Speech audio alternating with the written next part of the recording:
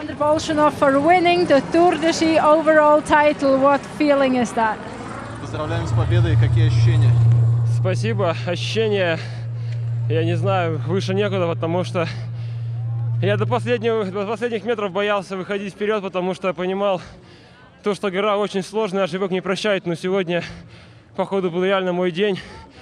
И даже силы остались по, по сравнению два года, когда я сюда поднимался. Сегодня это мой день.